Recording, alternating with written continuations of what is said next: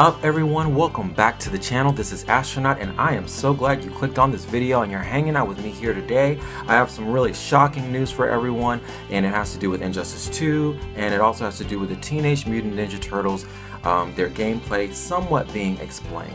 But before I get into that topic everyone, I just want to say lately I have been uploading a lot of Mortal Kombat 11 videos. So if you are a Mortal Kombat fan and you would like to know more about the production of uh, Mortal Kombat 11, what's going on with it, please make sure you check out that playlist. The playlist has information from Ed Boon and what he has shared about Mortal Kombat 11 so far, and it also includes uh, leak information. I have a few videos where I cover some rumors that came about from uh, September 2017. So all of that is in those videos. So guys, I just want to encourage you guys to check those videos out if you get the time. Alright guys, so let's go ahead and dive right on into the content of the video. We are talking about the Teenage Mutant Ninja Turtles, and I don't know about you guys, maybe um, this wasn't as big of a mystery for you guys as it was for me, but um, I did notice uh, online a lot of people seem to be confused like I was um, about the gameplay for the Teenage Mutant Ninja Turtles. And the thing that blew me away, and I think it blew a lot of other people away, was the fact that when Fighter Pack 3 was revealed, everyone was expecting three characters. But of course, and as you all know by now, we ended up getting six characters. We got the Atom, who everyone already knew about. We got Enchantress, who everyone was already speculating about, and then we got the Teenage Mutant Ninja Turtles. And we didn't just get one of them, we got all four of them. So the question that was on everyone's mind was, what is their gameplay going to be like? How in the world are we going to be operating with four different characters when we were all really expecting just one character to be the final reveal character?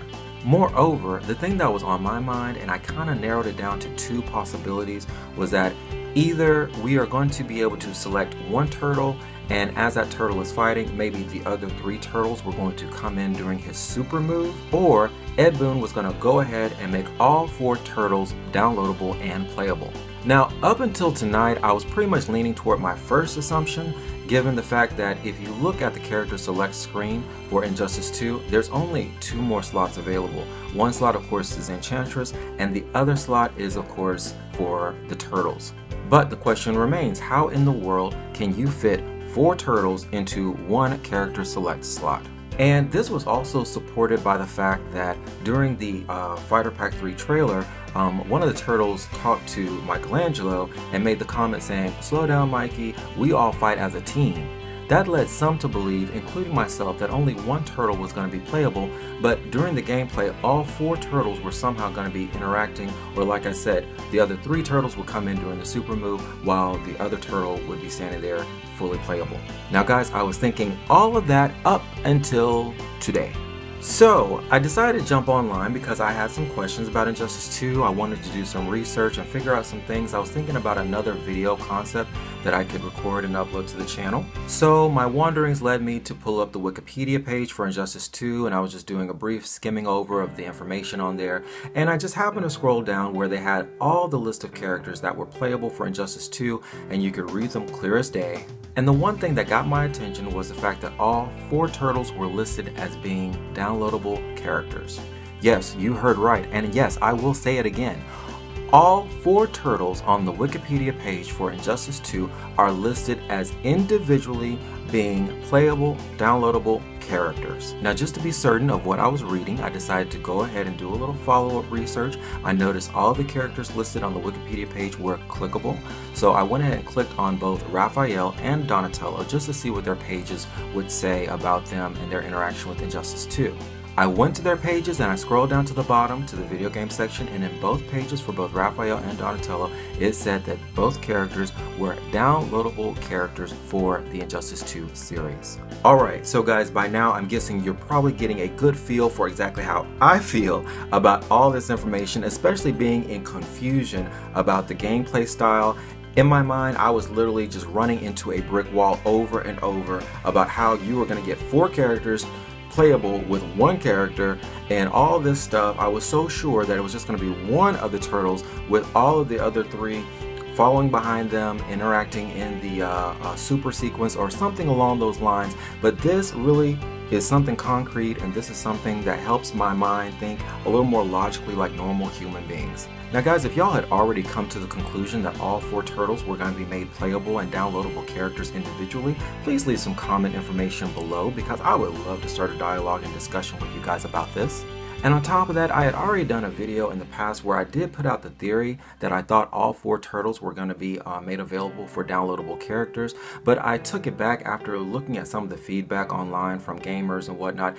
And also there was the evidence that there is just one character select box left after the Enchantress, which really led me to believe there has to just be one turtle playable with the other three somehow creatively being involved in a gameplay sequence at some point. Now, this information is changing everything and is giving me an even more broader perspective of Injustice 2 and the future of this particular series. Now guys, if that information didn't shock you, this information that I'm about to share right now may very well do that. Alright, so if we are to go off this Wikipedia entry about Injustice 2, and I know some of you out there might be like, oh, okay, astronaut, that was Wikipedia, that doesn't count, that doesn't count, that doesn't count. To those of you, I say, do not jump off the roller coaster just yet. Stay on the roller coaster with me until the ride is over. So going back to what I was saying, if we are to go off this information from Wikipedia, the fact that we are going to get four more, not one, but four more downloadable characters each individual turtle separately, then that creates an even bigger mystery about the Injustice 2 series. So guys, follow me if you can. There's only one more slot after Enchantress for one more person to fill. If we are going to get four turtles, that means that one turtle will be able to fill that last slot, but there's going to be three more slots that will need to be available for each of the individual turtles. So guys, this brings me to the mystery. Are there some hidden character select screen boxes on the character select screen for Injustice 2? I was under the assumption that Fighter Pack 1, Fighter Pack 2, and Fighter Pack 3 were complete, each Fighter Pack having 3 characters each, totaling 9, but now we know that um, it's not totaling 9, it's actually totaling 12. We also know there's only one more slot for one more character, which means that three more characters, which will be made playable, the other three turtles, they're gonna have to fit on the character select screen somewhere. So like I said guys, are there some hidden character select screen boxes on the main character select screen for Injustice 2? Dun da da dun dun da! That's the mystery. That is the big shocker that I've been playing up to all this time throughout the video.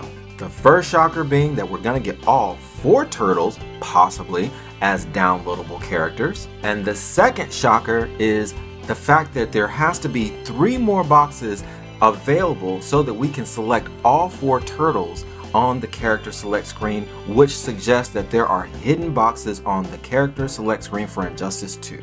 Now guys, if you wanted to take it a step further than this, you could, because there are some strong implications to this. Those implications being that if there are some hidden character select boxes for the remaining three turtles that are going to be playable, does that also mean that there can also be a Fighter Pack 4? My logic and my theory about the downloadable characters for Injustice 2 uh, was that it appeared that NetherRealm had clearly painted this perfect picture of having all these silhouettes the main roster was there, and then all of these silhouettes were still filling the empty boxes, which left everyone wondering. And like I said, my logic led me to believe that each fighter pack was going to be revealing um, the characters that were hidden behind the silhouettes. And then once we found out who all those characters were, then that would pretty much be the end of the downloadable characters for the series. Am I wrong for thinking that? Did you guys also think that too? That after we found out who was hiding behind all the silhouettes, that was pretty much going to be all the downloadable characters and that's it? Guys, this would be a really good time to make use of the comment box below. Please leave some comments. I really want to hear from you guys on this point particularly.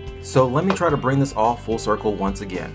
So, like I said earlier, the implications to this means that there could very well be a Fighter Pack 4 waiting in the wings. If there are some hidden character select screen boxes, which there must be if we're going to be able to play as all four turtles, then that means that they could also add additional characters down the road in a Fighter Pack 4. If I am right about all this and all four turtles are going to be made available for download, um, one filling up the last remaining uh, character select box and three other hidden character select boxes for the remaining three turtles, that means that Ed Boon and NetherRealm Studios might, now guys please note I said might, might be setting us up for the reveal of either a Fighter Pack 4 or some more future downloadable characters that may be coming up throughout the year of 2018 after the reveal of the Teenage Mutant Ninja Turtles gameplay trailers. Alright guys, um, I think I'm pretty much done at this point. I'm pretty much spent on this video. Um, I have gotten so caught up in the hype of my own video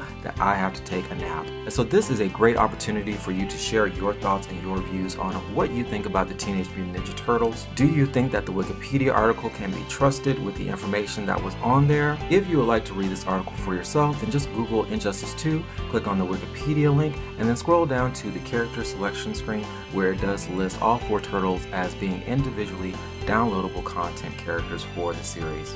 And like I said guys, there's only one slot left for one turtle, which means that there would have to be three other hidden um, character select boxes for the remaining turtles, which pretty much gives the implication that, hey, if these boxes are hidden, then that could very well mean that other downloadable characters could be added to the roster for Injustice 2 in a mega, mega, mega shocker. Whew.